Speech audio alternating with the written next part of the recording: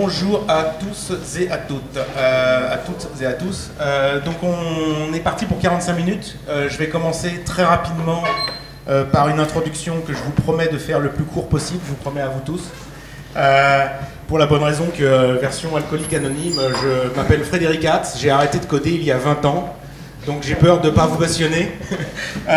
mais toutefois, je voulais quand même introduire cette session-là en, mettant un peu en perspective sur vraiment 2-3 euh, deux, trois, deux, trois, trois transparents euh, la raison euh, pour laquelle vous nous voyez. Tac. Tu l'as là Là, t'as fait que ça. Ouais, le curseur pas.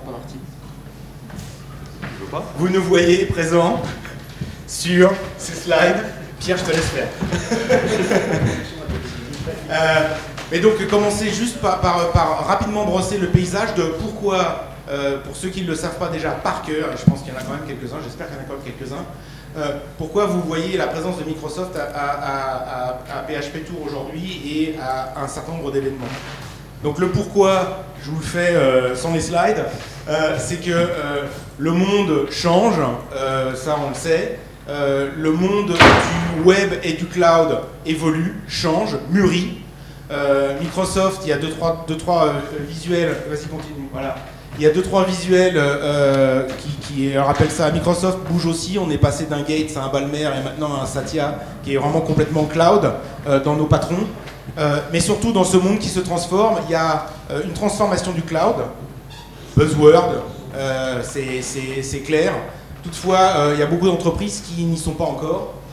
et ce cloud, ce monde-là, aussi bien que le monde des terminaux connectés.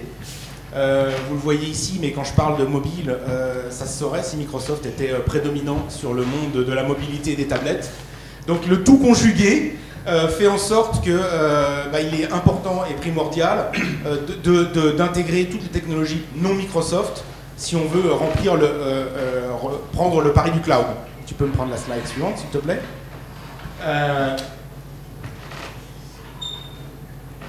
Et ce qui veut dire que, et je la fais très rapidement parce que vous avez quelques personnes qui sont là, euh, on, a une, espèce d'organisation euh, euh, qui est dispersée au travers de toute l'entreprise et qui, porte les investissements des technologies non Microsoft sur Microsoft, donc open source pour, pour mentionner, avec un, un, un interlocuteur qui est ici, sur lequel je ne reviendrai pas, Pierre, tu prendras la parole tout à l'heure, et un certain nombre d'acteurs, tu peux passer la suivante s'il te plaît, j'essaie de faire vite. Euh, un certain nombre d'acteurs présents dans les pays, j'en suis un représentant, Benjamin en est un, autre là, euh, qui sont euh, à la fois dont la mission est d'aller échanger, expliquer quelque part ce qu'on essaie de faire autour de, l'open source, mais aussi, et on en reparlera dans la foulée, essayer d'établir les ponts euh, les passerelles, de façon à être capable non seulement d'avoir des technologies qui tournent, mais des technologies de préférence qui tournent et qui soient exploitables, et des technologies qui soient, euh, euh, exploitables de façon satisfaisante pour les entreprises et les, et les clients qui souhaitent les, utiliser. Ça commence par ça, je vais la passer, je vais zoomer sur la suivante. derrière cette slide-là, il, y, a, plusieurs choses. Il y a le fait qu'on a un petit peu le côté tick box. Hein. c'est techno disponible dans le cloud, yes. Techno disponible dans le cloud, yes. Euh, petit à petit, le travail qu'on a au sein, de, au sein des gens que vous avez présents aujourd'hui, et on va zoomer complètement, bien évidemment, c'est l'ordre du jour sur, sur PHP dans ce cadre-là, euh, c'est de faire en sorte qu'on aille un petit peu au-delà, et, de, de, façon à ce que non seulement la techno, encore une fois, tourne, mais qu'elle vive, qu'elle évolue, qu'elle s'enrichisse, qu'elle suive les différentes versions. Sinon, vous avez trop facilement, et on peut nous reprocher, et à juste titre, une techno qui est disponible dans une version qui a 15 euh, ans, 15 ans n'exagérons rien, 3-4 ans, euh, et, qui n'est juste pas utilisable par les développeurs, par les entreprises qui souhaitent les, les, mettre en place. Donc avant de zoomer sur PHP, je voulais faire euh, venir euh, Olivier deux minutes pour les claquettes. Hein. Olivier, on avait prévu les claquettes. voilà. pour vous illustrer, parce qu'en fait aujourd'hui on a choisi avec Olivier Crèche de Sensio Labs de, de prendre PHP Tour Lyon D'abord, un, pour montrer qu'on ne fait pas que les choses à Paris, euh, et deux, euh, pour annoncer euh, le, travail qu'on a fait en collaboration avec, avec Sensio Labs sur la disponibilité de Symfony en mode website sur, sur Azure. Derrière ce partenariat, pour moi, il y a plein de choses qui sont à la fois des, véhicules importants de ce qu'on veut essayer de, de, montrer, de construire. un, pas forcément de manière centrale à Redmond. deux, avec les acteurs leaders du marché de, façon à faire le, step complémentaire. et trois, de façon à, vraiment faire en sorte qu'entre deux acteurs, on puisse mettre en place bah, les tutoriaux, par exemple, vous allez voir dans les, dans les, dans les, détails, dans les détails que l'on veut euh, vous présenter tout à l'heure, tutoriaux, euh, la manière dont euh, chacun peut faire vivre et, monter les solutions. Olivier Les Claquettes maintenant? Oui. Je encore plus court parce que moi ça fait 20 ans que j'ai jamais commencé à coder. non, c'est juste pour, vous dire effectivement, pour, paraphraser Rasmus ce matin, qui dans sa présentation disait finalement ce qui arrivait de mieux à PHP, c'est le temps qu'on a consacré pour faire en sorte que PHP euh, soit euh, présent partout, euh, bien accueilli et bienvenu chez les hébergeurs. Bah, c'est la même chose pour, pour Symfony qui de façon croissante aujourd'hui est bien accueilli dans les petites, moyennes et grandes entreprises. Et c'est important pour nous de faire en sorte qu'ils bah, puissent trouver aujourd'hui des solutions d'hébergement dans le cloud. où Symfony soit bien documenté et si possible faire en sorte que le déploiement soit le plus automatisé possible. D'où la collaboration euh, qu'on a entrepris euh, avec Microsoft et qu'on annonce euh, aujourd'hui. C'était court. Hein. Merci Olivier. J'avais promis de ne pas être trop long. On va passer la main gentiment à des choses un peu plus sérieuses et un peu plus conséquentes. Mais voilà, s'il y a une chose à retenir de cette première partie d'intervention, au-delà des slides très marketing, et j'en suis désolé, mais c'était important quand même pour moi de, vous dresser un peu la feuille de route ce qu'on a fait là, euh, on souhaite continuer à le faire, que ce soit à titre d'entreprise qui porte euh, euh, un framework ou que ce soit communauté ou événement. N'hésitez pas à nous interpeller, on est sur le stand. L'idée c'est de, montrer, on a un écosystème, un, écosystème open source en France qui est très fort, enfin vous le savez mieux que moi. on souhaite vraiment capitaliser là-dessus et montrer qu'on est capable aussi de monter des choses innovantes à partir de la France parce qu'on aime bien. Sur ce, je vais passer la parole à quelqu'un euh, qui euh, que vous connaissez probablement tous, mais qui va, je pense, se représenter. Numéro. Un vieillard. Le de la vieille, ouais. Bonjour tout le monde, merci d'être venu. Euh, juste en intro, je crois que dans le, dans le présentation avant, le Twitter, le plus simple pour me contacter en général, c'est Twitter vous avez des questions et autres, j'y réponds jamais au mail ou très peu. Il y a des témoins ici, donc si vous avez des questions après, que ce soit pour la contribution au corps, enfin au PHP et corps, ou bien extension développement d'extension de PHP, ou de manière générale, un petit ping sur Twitter, et après on, se débrouille, on trouve une autre, une autre voie. So, euh, de manière générale, j'aime bien faire des petites questions au début, il y a des quelques statistiques. PHP, les versions PHP qui utilisent encore, je crois, allez, je vais me avoir assez confiance de moi Quelqu'un utilise encore PHP 4 ici Non? Le premier qui lève la main peut sortir. Ah, si vous l'utilisez, tu peux le dire, il hein, n'y a pas de souci. Non, non, c'est Ok. Euh, PHP 5.1, 5.2, 5.3. Ok, juste pour info, dans un mois, PHP 5.3, c'est mort. Hein. Juste au cas où. Euh, on va sortir, la 5.4 est sorti il y a deux ans, 5.5 l'année passée, 5.6 dans un mois. Juste pour information, donc ça peut être pas mal de considérer euh, un upgrade. Je vais vous expliquer aussi pourquoi c'est peut-être beaucoup plus intéressant maintenant qu'à l'époque de 4.1, 4.2, 4.3, 4.4 qui était une horreur, 5.0, 5.1 qui était aussi une horreur. Pourquoi c'est beaucoup plus simple maintenant de, migrer euh, les, versions de PHP d'une version à l'autre? En ayant beaucoup de gains sans aucun coût en, interne pour le développement, mais portage d'applications et autres. Euh, qui utilise Windows? Si vous n'utilisez pas, vous êtes là. Une personne, 2, 3, 4, 5, 6. Waouh, c'est un record. euh, Linux, je pense que le reste. Les Mac, je n'ai pas le temps de parler, je n'utilise pas. Ok. Azure Une personne, deux personnes Amazon D'autres providers de cloud comme Rackspace et autres Ouais Lesquels? Euh, OpenStack. OpenStack? Ah, pour un intranet, enfin, pour cloud privé, cloud privé, ouais. Très bien. Vagrant? Enfin, qui a jamais entendu parler de Vagrant? Ah, c'est déjà mieux que l'année passée, parce qu'il n'y avait personne qui, connaissait. Euh, à propos, Vagrant fonctionne ma- maintenant aussi sur, euh, sur Azure ou sur euh, AVS et autres. Bon, là, après, c'était les points communs, je crois que ça décrit assez bien ce que beaucoup de gens pensent de PHP.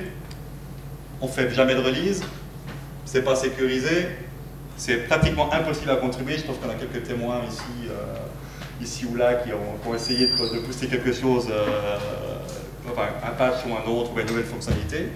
Et il y a beaucoup de, gens qui ont un peu trop d'ego, des dictateurs ou les Neinsager.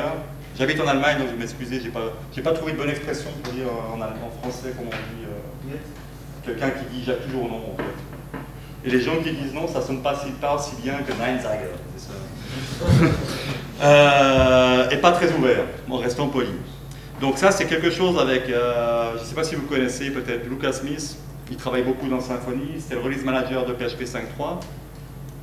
On s'est dit, ça ne peut pas continuer comme ça, il faut qu'on change le- la manière dont on prend les décisions, dont PHP prend les décisions dans- pour les nouvelles releases, pour les nouvelles fonctionnalités, de faire participer la communauté dont vous faites partie, enfin les communautés, que ce soit WordPress, Drupal, Symfony, ZenFramework, peut-être un peu moins, non je plaisante, euh, et d'autres, euh, de changer un peu, de voir comment, comment on peut améliorer ça et donner une voix un peu à tout le monde.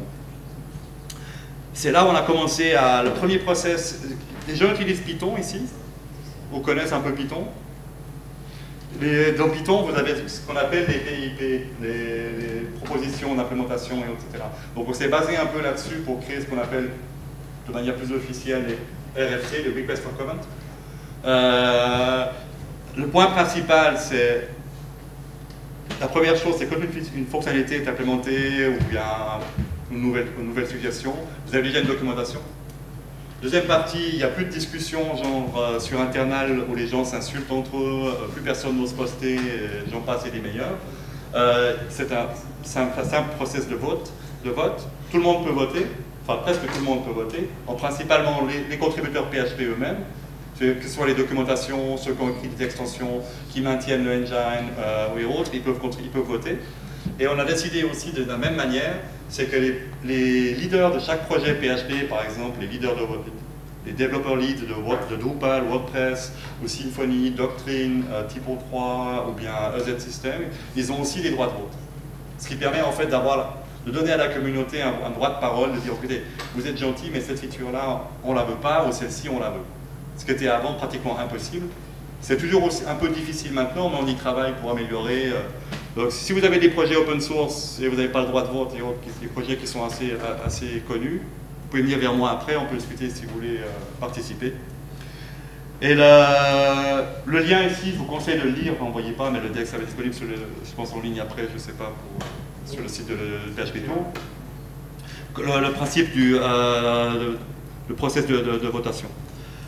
Et deuxième partie, ce qui est beaucoup plus intéressant je pense pour vous, on a la première RFC qu'on a écrit, euh, qui a déjà entendu parler de celle-ci, le, nouveau release process pour PHP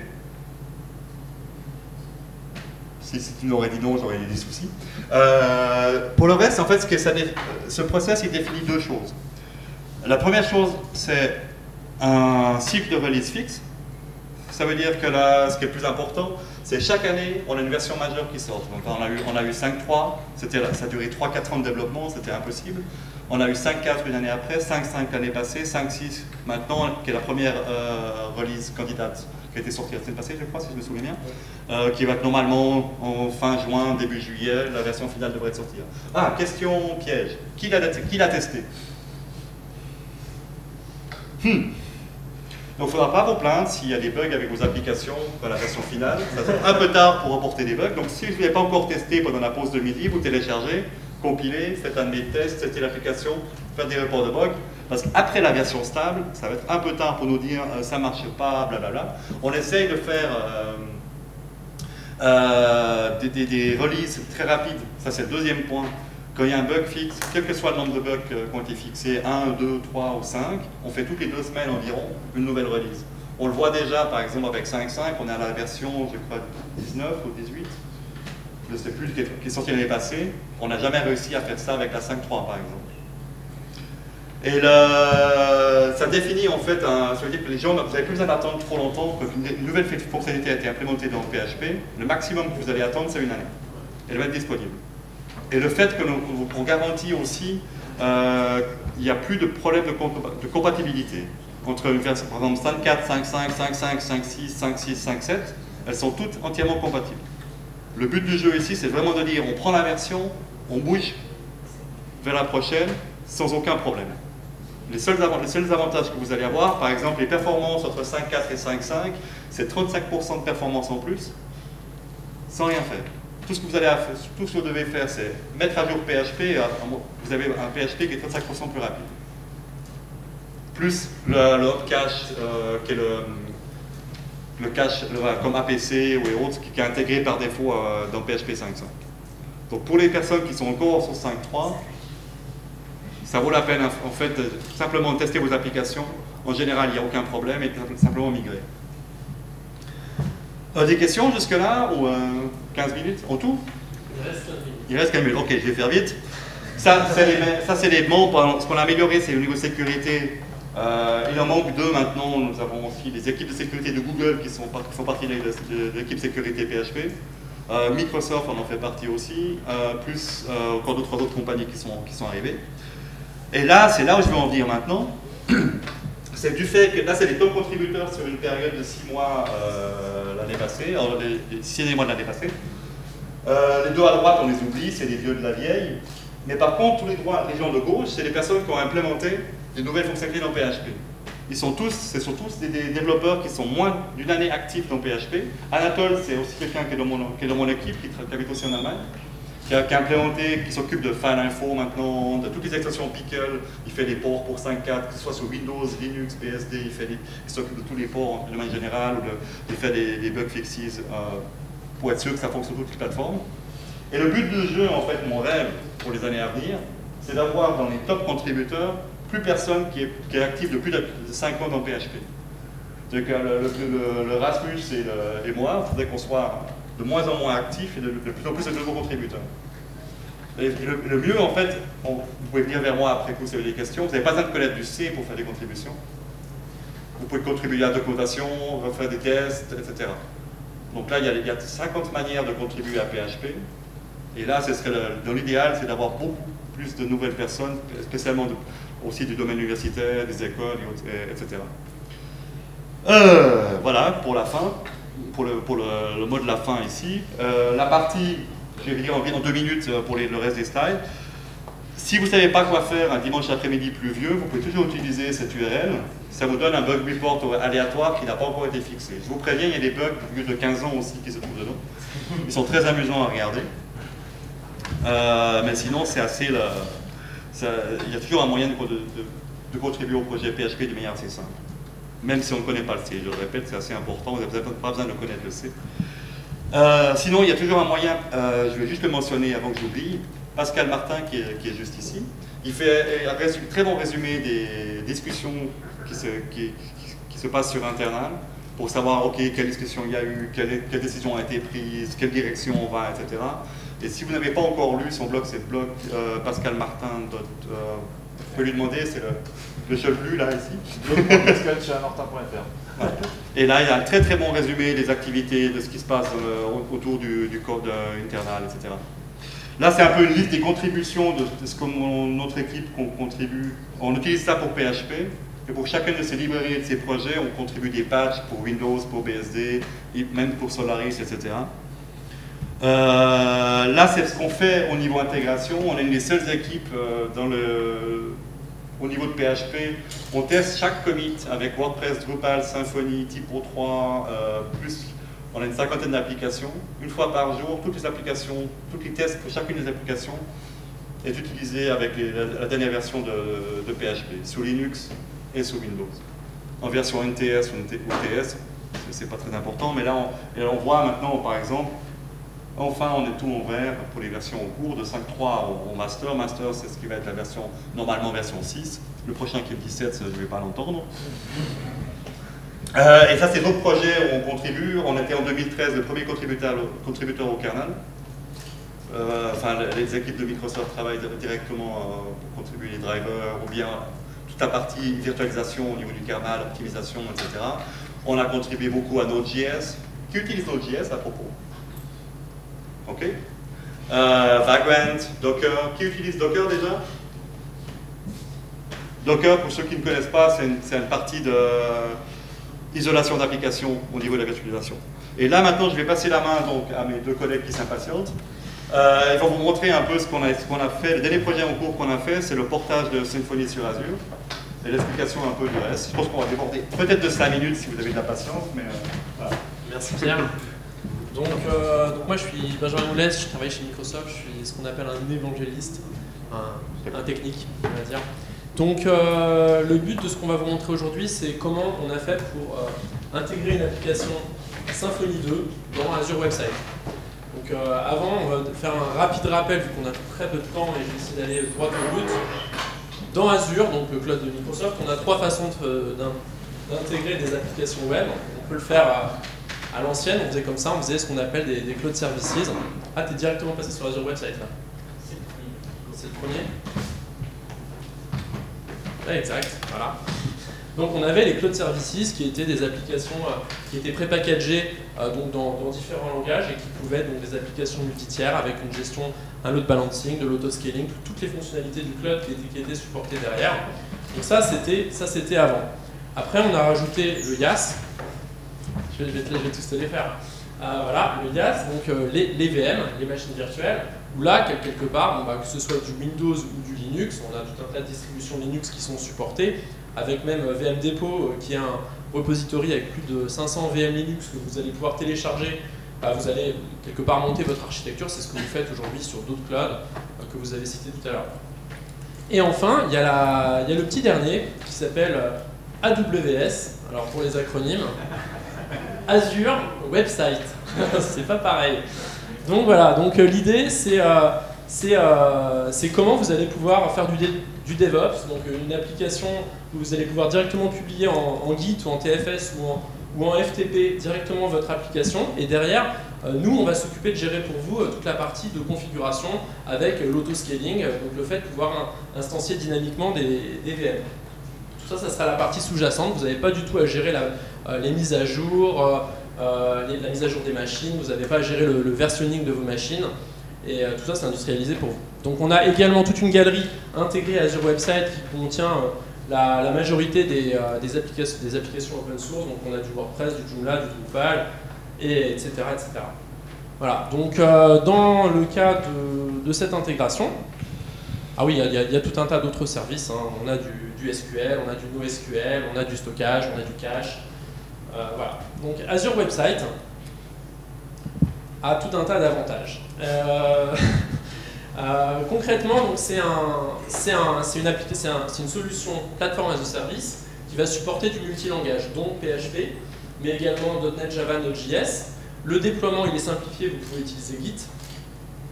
Voilà, pour aller rapidement. Derrière, c'est du Windows avec du, du 2IS. Euh, Pierre a largement contribué à, à l'optimisation des performances dans- sur, du, sur du 2IS, qui fait qu'aujourd'hui, quand on regarde les performances à page 2IS, il n'y a, plus vraiment de, de débat. On est aussi rapide avec NGIS. Comment? On est aussi rapide avec NGIS. Voilà pour le feedback, temps réel. Euh, la scalabilité, elle est programmable. Pas be- on a- par contre, on n'a pas de droit administrateur sur les machines, mais on a quand même la possibilité d'avoir euh, un terminal pour se connecter et faire, et faire des opérations euh, directement sur, euh, sur les serveurs. Donc voilà, donc je vous parlais d'AWS, Azure Website. Je vais, si on passe là, voilà. Je vous passe la main, Stéphane. Merci. Donc euh, j'ai moins de 5 minutes euh, avec vos questions pour vous expliquer comment on met euh, PHP sur AWS. Ça va bien se passer. Euh, du coup, je vais faire très rapidement. Et en fait, ce que, je vais vous dire, c'est que sur le stand Microsoft, ce qu'on va faire, c'est des cliniques. Vous venez, je vous fais une démo en live, comment ça se passe, et on peut prendre du coup le temps même d'expliquer les points critiques, etc. Donc l'idée, c'était de partir sur un projet, euh, PHP Symfony au hasard. Entre guillemets, comment on commence? Eh ben, Un composeur classique. Je suis dans mon dossier, je fais mon composeur classique. J'initialise mon projet Git en local. Je passe très vite, hein, je suis désolé. Euh, une petite note d'attention aussi, c'est que on m'a reproché, je ne sais pas s'il y en a qui étaient là au Symfony Live, euh, de ne pas pouvoir faire une démo live justement depuis un Mac. Mais ça marche. Euh, Microsoft Azure avec un Mac, ça marche. Et la preuve là, en fait, c'est qu'il y a un outil, je ne sais pas si vous le voyez, c'est du, du npm inst- install, donc c'est du, euh, Node.js qui offre une, euh, interface de une ligne de commande pour, pour communiquer avec les API Windows Azure. Et de là, du coup, depuis euh, n'importe quel terminal, Unix, euh, Windows, etc., je peux faire mes déploiements. Donc là, je vous passe les détails, on n'a pas vraiment le temps. Mais en gros, première ligne, euh, j'installe euh, ce fameux client euh, en, ligne, en ligne de commande. Derrière, j'ai la possibilité en ligne de commande, encore une fois, je ne sais pas si vous le voyez ici, une commande qui s'appelle Azure Site Create PHP Tour, qui en gros va me créer mon. Ça, Qui va me créer sur le portail. T'as 5 minutes plus les 15 minutes de questions. Ah, on est là. Donc, euh, lorsque j'ai exécuté cette commande, en fait, ce qu'il se passe, c'est euh, la mise à disposition sur le portail d'Azure. Si vous ne connaissez pas le portail d'Azure, c'est à ça qu'il ressemble. Vous avez en gros à gauche euh, la liste de tous vos services. Là, je suis dans la partie website et j'ai mon fameux PHP Tour qui apparaît. Et là, j'ai un ensemble de statistiques de la consommation de mes CPU, la consommation de mémoire, le nombre d'instances. C'est notamment de cette interface, par exemple, que je vais programmer la scalabilité. Euh, je ne vais pas pouvoir vous le montrer parce que là, je suis sur une version euh, gratuite. Mais en gros, vous avez des curseurs. Vous dites dès que mon CPU il passe 50%, je veux qu'on monte de, de deux instances. Euh, dès qu'il repasse en dessous de 25%, je veux que ça redescende à une. Ce genre de choses. Et on gère le load balancer pour vous de sorte à monitorer le CPU sur toutes les instances qui ont été déployées.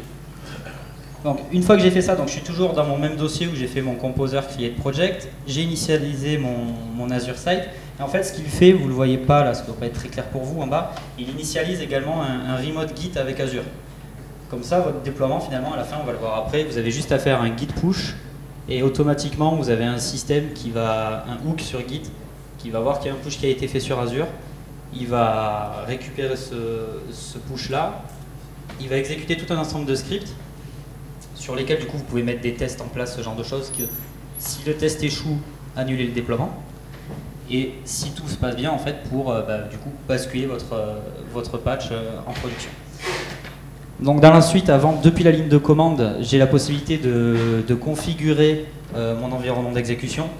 Donc là, notamment, par exemple, de préciser directement depuis la ligne de commande que je veux que mon website il soit sous PHP 5.5. Donc j'ai aussi la possibilité de le faire depuis l'interface de configuration que je vous ai montré tout à l'heure. Euh, je définis après dans le cas un peu particulier de Symfony, parce qu'on n'est pas sur un index.php, on est sur un app.php, on a besoin de, de librairies spéciales, notamment Intel, on a besoin du file info, euh, ce genre de librairie. Donc tout ça, je peux le configurer à nouveau de la ligne de commande, notamment le app.php. J'initialise ensuite un, un script de déploiement ici. Donc c'est pareil, c'est la ligne de commande Azure qui me le prévoit. Ça, ça fait quoi? Ça me crée deux fichiers que j'ajoute à mon repository Git.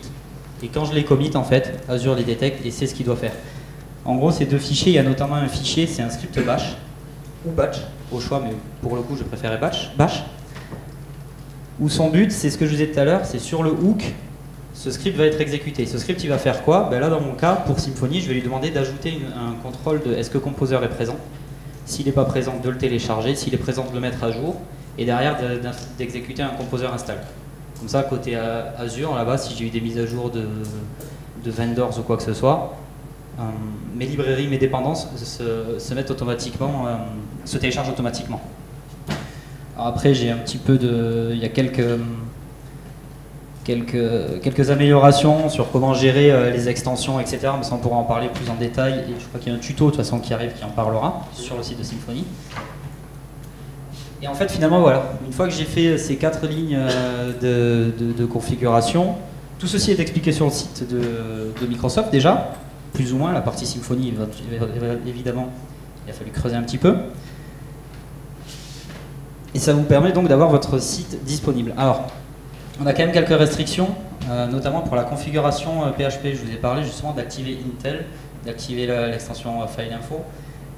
Il y a des moyens, via, je ne sais pas si vous connaissez le, système de loading des, configurations PHP via les fichiers .user.ini par exemple, ce qui est recommandé du coup par, sur le site Microsoft d'ailleurs, qui fonctionne dans la majorité des cas, mais qui peut avoir quelques, quelques limitations. Et du coup, c'est là que nous également on intervient un petit peu. Alors, j'ai pas eu le temps de me présenter, mais je ne suis pas Microsoft, je ne suis pas Sensio, je ne suis pas indépendant, je suis Brainsonic. Euh, on est une euh, société à Paris et à Lyon, à Perrache. Et on a repris la main en fait sur un bundle qui a d'ailleurs été initialisé, ce que j'ai appris aujourd'hui, euh, par Pierre ici présent, où le but en fait va être. Pardon. Et euh, oui, tout à fait. Euh, et en fait, l'idée de ce bundle, c'est de vous faciliter toute cette phase de gestion du déploiement, gestion des variables d'environnement, mise en place des, des Intel, etc. Ce qui vous apporte du coup automatiquement la stack PHP 5.5, Opcache, APCU, accès à SQL Server, tout ça en fait en un petit bundle. Je modifie juste l'app kernel pour gérer également tout ce qui est cache et log pour les mettre en place sur des services Azure. Ce qui en gros vous permet avec la ligne de commande par exemple après de faire du tailf depuis votre commande sur les logs A2IS. C'est super pratique. Comme ça je vois directement ce qui se passe, etc. Par exemple. Euh, je passe là-dessus sur un système de gestion des configurations, on y reviendra. Et finalement, le même projet que je vous ai présenté tout à l'heure, ça se passerait comment grâce à ce bundle? C'est je crée mon create project. Là, vous ne le voyez pas en vert, mais j'ajoute ce fameux bundle dans mon composer JSON. Je modifie le, kernel pour viser sur le kernel proposé par ce bundle. Je fais un, website init qui vient de ce bundle là, et derrière j'ai tout qui est prêt. Derrière pour committer ça, j'ai juste à faire un git push et pouf, c'est réglé. Et ensuite voilà, maintenant je développe normalement, je développe mon application Symfony normalement. Euh, je fais un fixe, je corrige, je fais mon git push, c'est en prod, ça teste, c'est en prod, etc. Voilà, après je vais pas m'étaler euh, sur euh, ça, c'est une autre histoire, fabriquer de la potion magique, mais ce que je veux dire là derrière, c'est à vous derrière de bien découper votre application pour que tout marche en mode cloud. Découper les accès, faire, faire des services, que ce soit l'accès aux données, aux caches ou aux gestions de, de, de file system, ce genre de choses. Je vais pas m'attarder là-dessus. Et euh, comme je le disais, donc pour quelque chose d'un peu plus précis, un peu moins rapide, on est au stand Microsoft, on peut vous faire euh, des démos en live, vous montrer réellement créer en live comment ça se passe. Et voilà. Après, je dois avoir une petite démo pour vous montrer quand même que c'est pas du baratin tout ça, que ça marche. Que vous voyez? Ouais. Donc ça c'est la démo, vous voyez pas là-haut, mais il y a bien écrit phptour.azurewebsites.net. Voilà, ça c'est le site de Symfony qui tourne donc bien sous Azure en mode 2.50. Euh, je pourrais aller dans les détails, on a la PCU, on a l'opcode, on a PHP 5.5, etc. Voilà. Si vous avez des questions, on est tous disponibles. Il y aura, avant, il y aura un tutoriel en français qui va être publié dans les heures. En anglais. Alors, il est, il est en- actuellement en merge sur le site de symfony.com et euh, il a été fait conjointement avec, euh, avec Sensio. Donc, euh, voilà. ça, ça arrive. il va vraiment détailler toutes les étapes pour, pour- pour ce qu'on vient de vous montrer euh, très rapidement.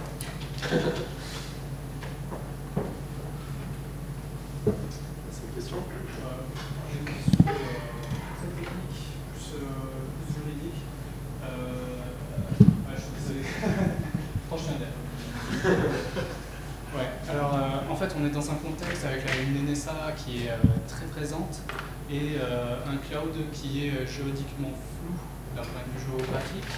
Et euh, j'aurais aimé savoir comment l'application, une fois sur la, sur la plateforme, peut être sécurisée contre la surveillance de masse. Voilà. Si tu veux, je peux répondre. Moi, tu veux aussi. Enfin, il y a- Euh, le, géographiquement flou, en fait, on sait très bien euh, particulariser le fait que les données soient en Europe, soient basées sur la plaque géographique européenne. Déjà, c'est un premier step. Après, vis-à-vis de la Commission européenne et vis-à-vis de tout ce qui peut être, euh, entre guillemets, régulation, euh, certification, on essaie d'être vraiment à l'état de l'art sur le sujet. Après, il y a une frange qui n'est pas très claire, en tout cas qui laisse un doute dans l'esprit des gens, qui est jusqu'où Microsoft, en, tant qu'entité américaine, peut, etc. Et ça, vous aurez suivi peut-être dans les news, qu'on est en train de- d'essayer de faire le bras de fer avec le gouvernement américain pour nous jouer le maximum de transparence. Vous avez un site dont j'ai plus l'adresse en, tête, mais qui vous retranscrit exactement le nombre de réponses qu'on a pu fournir sur les commissions roga- rogatoires du gouvernement américain. Je crois qu'il y a un cas qui était, euh, où on n'a pas demandé l'avis au client avant de le faire, qui était un cas euh, Euh, le reste, à chaque fois, le client est averti, informé de, euh, de- de- la démarche. Et la société est en train justement de faire le bras de fer avec le gouvernement américain pour lever. On n'a on a rien à gagner dans, dans- ce doute qui est distillé suite à Prism, NSA, etc. Donc euh, suivez ça parce qu'en fait on est prêt à, à sortir les avocats là cette fois-ci pour se dire arrêtez, on veut jouer la transparence et être transparent vis-à-vis de nos clients et voilà. Donc c'est voilà, ça, après quand il y a une zone de doute c'est difficile de la lever mais c'est la réponse que je peux vous apporter. Et là, c'est le même problème. Euh, il y a, qu'il y a Amazon, Google, Microsoft, euh, plus d'autres compagnies qui sont associées. Il y a une première petite victoire, mais d'être validée. c'est qu'il y avait ce fameux Patriot Act qui disait qu'en fait, il pouvait euh, accéder, aux données comme il le voulait, etc., sur, sur commission aléatoire ou n'importe quoi. Et là, ils ont réussi, pour une première étape, tout, ce- tout ce qui n'est pas hébergé aux États-Unis n'entre plus dans ce domaine-là.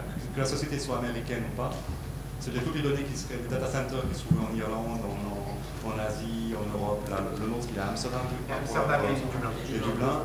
Donc ils ont, la première étape a été faite, c'est de dire, ok, ces data centers-là, que, la- que- que les propriétaires soient américains ou non, ne tombent plus sous le coup de la... Parce qu'il y a un premier pas, mais il y a encore euh, un énorme boulot à faire. Là, c'est- Pour l'instant, je, je connecte à azure.com, à azure.fr par exemple. Donc, euh, et puis c'est euh, contre le- l'idée du cloud aussi de, de se dire posé. Tous les services de cloud sont. On ne peut pas, par exemple, dire, euh, tu vas sur Amazon, tu peux dire, voilà, j'aimerais avoir l'hébergement sur l'Asie, parce que je travaille ou bien sur la Chine, parce que je travaille sur la Chine, ou bien je veux l'avoir en Europe, parce que je travaille sur la Chine, ne serait-ce que d'un point de vue de performance. Après, il y a un problème, ce qui est plus dans la direction de ce que tu ce que- ce dont on parle maintenant, c'est de dire, il y a des, si on travaille avec les gouvernements, par exemple, beaucoup de gouvernements exigent que les data soient hébergés dans le pays où, on se trouve. Donc là, tous les services de cloud, on peut choisir les, ils appellent ça les euh, hosting. Comme il y a Amérique du Sud, Amérique du Nord, Asie, Europe, ou bien Middle East. Et là, c'est c'est les parties qui sont, qui sont gérées. Mais là, c'est c'est commun à tous les services de cloud. C'est à part pour Google Mail, là, donc, idée où c'est. C'est- Là, ça, vaut problème. Hotmail, c'est la même chose. euh, Euh, Oui, enfin, ce dernier point de, de Pierre est important, c'est qu'en fait, euh, effectivement, euh, quand je disais on est capable de spécifier la plaque géographique, on est capable de, dans certains cas, typiquement de messagerie, ou enfin Office 65 pour donner ces noms- noms-là, d'avoir des, des offres dedicated, donc c'est quelque part, c'est de la coloc, hein, au sens, euh, vous avez une zone du data center qui est la vôtre. Euh, maintenant, encore une fois, je, je sais que, pour en parler de temps en temps, que, que cette notion de confiance, elle est, elle est très ténue et très difficile à, à ré- ré- réaffirmer. Euh, mais voilà, il y a différentes, euh, différents types d'étapes. Et encore une fois, je vous dis, on a publié les chiffres, et je crois qu'il y en a eu, il doit y en avoir 7 sur l'année dernière, ou 8, enfin, je ne sais plus, c'est un nombre très très très faible, euh, sur commission rogatoire, sauf un où, où globalement c'était euh, genre. euh, Bon, après, Allez-y. pas les commissions. C'est global à. ça répond? Ça va.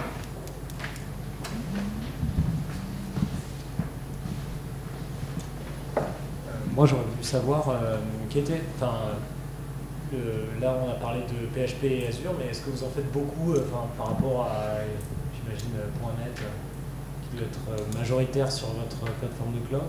Est-ce qu'il y a beaucoup de retours d'expérience? Est-ce qu'il y a des références euh, Est-ce qu'il y a des références euh, importantes et ce genre, euh, voilà. Alors, il n'y a pas de réponse, je pense. De sur Azure, Ok. par exemple. Et là, je crois que c'est plus de 50%, un truc comme ça. Et WordPress.com. 50% des, des- des applications sont euh, basées sur autre chose que les technologies Microsoft, sur Azure. Et ça augmente régulièrement. Donc, euh, et oh, complètement indépendamment de savoir si le host il est sur Linux ou sur Windows. hein. Ça c'est encore un domaine. Ça, ça c'est aussi un 50-50. Mais là, il y a vraiment un. C'est vraiment très varié. donc, euh, On retrouve peu ou prou les, les chiffres du marché euh, entre guillemets classique euh, dans la répartition. Donc euh, effectivement, 40-50, euh, ça peut être un, un chiffre que l'on que l'on garde en tête. Après, si on parle de VM Linux ou de, de site web, on va avoir des proportions différentes. Mais ça respecte à peu près ce qu'on trouve dans le, dans le, dans le reste, sur le reste du marché. Étant donné que PHP à 83% du marché web maintenant, mais c'est- c'est- les proportions sont pas mal. On met en travail dessus. ça va. Merci. Après, plus sur, un, sur un terrain local en France, où moi je vois la majorité des partenaires avec lesquels je travaille, donc, tu sais, je travaille sur les médias principalement. Euh, typiquement, Brenso, ils font de la vidéo et toutes leurs infrastructures sont quasiment pour toutes sur, le, sur des technos open source avec du PHP euh, derrière.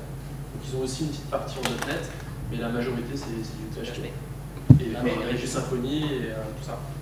Et, et c'est aussi, c'est aussi, moi, un, une des, un, un des messages de, mon, de ma courte intro du départ, c'est les technos sont là. Euh, après, c'est l'outillage, c'est euh, l'automatisation, c'est le fameux, toute la logique DevOps, où là, globalement, on apprend aussi, enfin, quand je dis on apprend, c'est que la, la matière évolue, la discipline se, se, se, se fait, et donc les, les entreprises qui ont tout basculé dans le cloud, il n'y en a quand même pas des millions encore. hein. Mais on y va, et surtout, derrière les technos, il y a les process, il y a les partenariats comme on a monté, de manière à pouvoir le permettre de façon sécurisée pour les entreprises.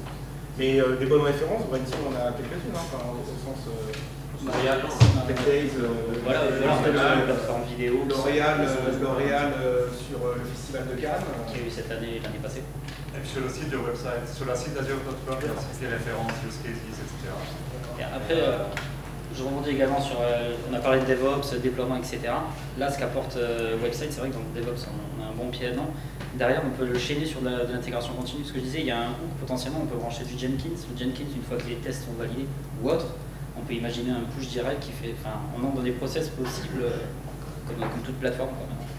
Et la, la même chose, si on n'utilise pas les websites, par exemple, si quelqu'un a besoin de quelque chose comme sur Amazon avec les instances dédiées en, en- en infrastructure à, à- à- au service, chef, poupette, background, etc., ça fonctionne comme une lettre à la poste, c'est la même chose. Donc, euh, il n'y a pas de souci de ce côté-là. Excusez-moi. Euh, J'avais une question beaucoup plus euh, technique, euh, bas level. Euh, euh, Vis-à-vis des, des API Azure. Alors, euh, je ne sais pas exactement qui pourrait me répondre. Euh, Ça dépend quoi alors, alors, il y a beaucoup d'API. euh, Il y en a qui sont accessibles en NPM, euh, c'est super. Euh, Il y a beaucoup d'API qui sont euh, disponibles euh, en langage PHP, d'autres en C Sharp, d'autres en je ne sais plus exactement. Certaines les trois, certaines deux, certaines une, certaines toutes les trois, mais pas au même niveau. Je peux te faire une réponse rapide. Elles sont toutes disponibles en REST. Ok, Voilà. d'accord. Donc après, la, couche de base, c'est du REST. Et puis derrière, on a eff- effectivement des SDK qui ont été bâtis sur les, les langages les, les plus communs. Effectivement, on n'a pas encore les SDK sur tous les langages pour tous les services, parce qu'on on a une certaine panoplie. Hmm. Mais c'est le but. Donc euh, à terme, on les aura. Et si jamais on les a pas, on a la communauté qui a aussi développé des, des, euh, des SDK ou des rappeurs euh, qui, qui vont bien. Donc en fait ma question c'était plutôt euh, quelle était la, polit- la politique Microsoft? Est-ce que c'est si possible de laisser faire les développeurs de la communauté? Est-ce que. Officiellement, je veux dire, pas sans langue de bois, c'est pas grave c'est les deux. Euh, Il y a une partie, ben, je le vois de mon côté par rapport à Symfony. Là, j'ai commencé, j'ai oublié d'en parler, j'ai commencé un nouveau projet euh, Pickle, qui est le nouveau installeur pour les extensions en PHP, qui tourne sur Windows pour les installations binaires, sur Linux pour les installations euh, depuis source ou binaire, fonctionne avec Composer, donc euh, l'intégration euh, entre un projet, des extensions, etc. Là, il y a les deux. J'ai commencé il y a une semaine, on a publié sur GitHub. Moi, je fais la, je fais la maintenance. Là, il y, a, a- deux, contributeurs dans la salle ici. Euh, un troisième, Pascal Morelli, qui, fait aussi le- les contributions. Donc après, il y a les deux. Le but du jeu ici, c'est de dire, OK, on, fournit des SDK. Par, exemple, le SDK PHP, je l'aime pas. Non, mais, ouais, pour moi, c'est un monstre, il est trop gros. J'ai fait mes petites clips de mon côté. Pourquoi là Parce qu'elle est documentée. Les API, c'est des API REST. 90% des services, c'est des API REST. Je fais mes petits modules que j'ai besoin parce que j'ai besoin juste de ça pour accéder à un blog ou je ne sais pas quoi. C'est tout documenté, je le fais, je le publie sur GitHub et voilà. Donc c'est un mélange des deux. Le SDK, c'est plus ça aussi avec Amazon, c'est une référence. Je veux dire, voilà, c'est la référence, l'implémentation de référence. Et après, si quelqu'un veut contribuer, faire un fort, euh, mettre Ok, une alternative. euh, Et du, du coup, j'avais une question, je suis désolé qui greffe un peu à ça. C'est euh, parce que nous, on a eu le problème, enfin, peut-être j'ai pas assez cherché, je sais pas, pour les ce qui était worker Azure. Euh, la solution apparemment actuelle, c'est uploader un zip avec euh, du PHP dedans ou du Node.js ou du truc. Euh, je sais pas si quelqu'un a la réponse pour euh, avoir une implémentation propre de worker PHP si possible. Enfin, on fait le même principe que les websites et que les workers. Ouais. Oui. C'est en cours, je ne sais pas si c'est fini. J'ai j'ai vu, j'ai testé, on, je sais qu'ils sont en train de le faire. Par contre, je ne sais pas le statut, je n'ai pas eu le temps de, de regarder. Mais je sais que ça fait une année qu'ils sont dessus pour faire le même principe que les websites et pour les workers. Ça devrait arriver. Ouais. Et c'est Merci. le même principe pour le, les, travailler quelque chose avec les, pour les, les, les queues de travail, etc. Donc ça, c'est le, c'est le même principe. Et, et une dernière question Après, juste sur ce dernier point-là, ça dépend ce que tu cherches, si c'est un cron réellement finalement ou si c'est vraiment un système de queue. Appe- Appelez quoi, pardon? Parce que est-ce que tu pourrais pas du coup euh, le faire avec ton avec euh, website offre un système de, de job en fait? Tu lui donnes un scheduler. et-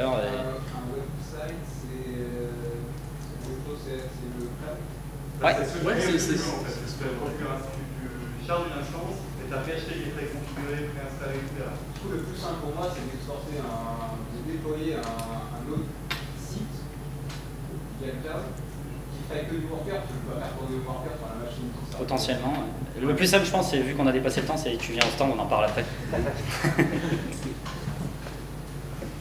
Euh, ouais, euh, une euh, question euh, générale. Euh, si on a euh, un site web euh, traditionnel et on veut transférer euh, à Azure et AWS, euh, est-ce qu'il y a normalement euh, des problèmes qui euh, empêcheront euh, de base, non, on va dire. Euh, maintenant, il y aura certainement des choses à adapter, euh, à vérifier. Après, prendre une application, la mettre sur Azure, nous, c'est ce qu'on a fait. Une Ouais. application qui était relativement conséquente, qui n'était pas forcément prévue pour le cloud à la base. Et c'est ce qu'on a fait. C'était une application, c'est une application Symfony 1.0 qu'on a mis sur Azure. Et euh, ça fonctionne. Donc ça se fait. Et on, on l'a même fait par étapes. C'est-à-dire qu'au début, on ne s'est pas vraiment posé de questions. On a pris notre architecture, on l'a mise sur Azure, et après, brique par brique, on a sorti les modules et on s'est mis à utiliser les instances, euh, les services Azure. Donc ça peut vraiment bien se faire par étapes en plus, et, euh, Ouais. Donc, progressivement. on prévoit, euh, ouais, il y a une approche VM par exemple. euh, il faut prévoir assez de boulot pour, pour faire normalement. Ça, ça demande un certain investissement, mais c'est pas, enfin, c'est pas si conséquent que ça finalement. Euh, je- j'ai pas, j'ai pas les chiffres en tête sur combien de temps on a mis pour migrer nos applications. Mais euh, la première migration basique en VM déjà, elle, est immédiate, elle a quasiment aucun coût. Après, c'est l'utilisation des services, ça dépend comment est faite l'application. Je sais pas de quel type d'application on parle. C'est du PHP Legacy. Ouais, euh, PHP, euh, ouais, Legacy, ouais. Legacy. Vous avez déjà beaucoup de serveurs? Vous avez déjà beaucoup de serveurs ou seulement un Euh, trois. Trois. Bah, c'est la démarche en fait, euh, à partir du moment. Il y a trois démarches pour le cloud. Enfin, il y a trois étapes. La première étape, c'est beaucoup de gens ont un seul serveur, ils migrent sur le cloud pour être plus rapide, scalable, euh, les performants, euh, Comment on dit ça en français Scala. Scalable. Élastique. Et, euh, et là, démarre, et là, là commencent les problèmes? Euh, Le locking, euh, concurrency, etc.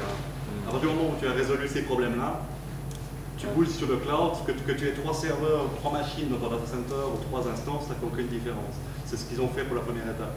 Et après, une fois que ça marche, stable, content, tu peux bouger des modules parce que c'est plus, efficace, par exemple, d'utiliser le Azure Cache System, Caching System, euh, que le même cache que tu dois manager toi-même, etc. Après, tu peux sortir les modules un par un en fonction. Il y a, tout faire en un coup, en général, c'est une mauvaise idée parce que c'est faut mieux faire. Tu reproduis ton infrastructure sur le cloud, c'est ce qu'on appelle l'infrastructure as a service. Et là, tu, comme tu as maintenant trois serveurs, tu auras trois instances, grosses, petites, etc. Une quatrième pour même cache, une cinquième pour MySQL, et voilà. Et après, tu peux migrer en fait les modules en fonction de tes besoins. Merci. Je crois qu'on est bon là,